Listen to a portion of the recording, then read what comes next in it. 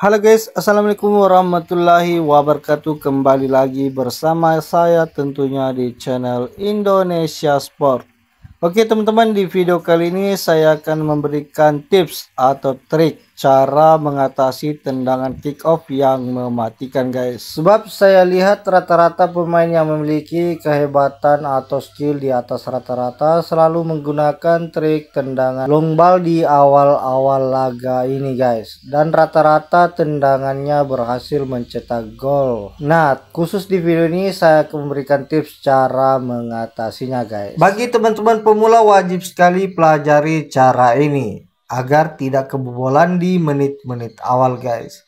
Sebab apabila teman-teman dapati lawan atau pemain yang suka melakukan tendangan kick off yang mematikan kayak di video ini, Kalian bisa kebobolan di menit-menit awal guys. Bagi teman-teman yang tidak tahu cara mengatasinya dipastikan akan kebobolan lebih awal. Jadi di video ini saya akan memberikan tips cara mengatasi tendangan kick off yang mematikan ini guys. Sebelum itu subscribe dulu channel ini dan jangan lupa nyalakan tombol loncengnya guys.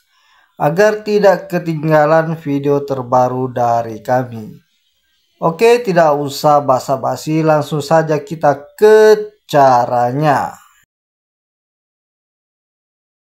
Jadi cara untuk mengatasi tendangan kick off langsung gol kayak ini sebenarnya sangatlah mudah guys. Caranya simple banget.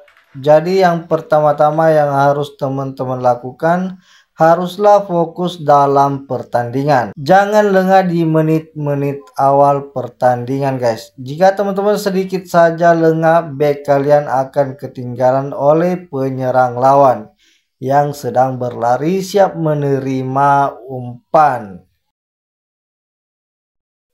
Yang kedua, teman-teman harus perhatikan atau fokus ke pemain lawan yang berlari tanpa bola. Tidak usah perhatikan lawan yang memegang bola.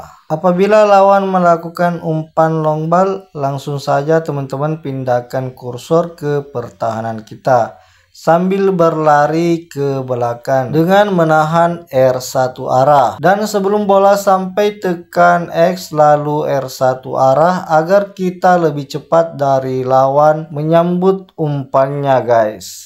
Jadi cara mengatasi tendangan kick off langsung gol kayak di video ini sangatlah mudah guys.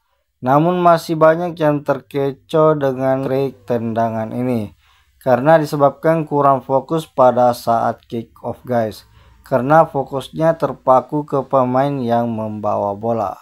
Oke guys, jadi cara mengatasinya sangat mudah kan? Jadi jangan lupa follow dulu channelku guys agar saya lebih semangat lagi buat ngontennya. Jika ada trik-trik yang teman-teman ketahui namun belum bisa mempraktekannya, silahkan aja komen di kolom komentar guys. Insya Allah barangkali saya bisa mengatasinya guys. Oke guys, sampai di sini dulu video kali ini. Semoga video ini bermanfaat dan bisa membantu mengatasi masalah saat bermain PES. Sampai di sini dulu video kali ini. Sampai jumpa di video berikutnya. Assalamualaikum warahmatullahi wabarakatuh.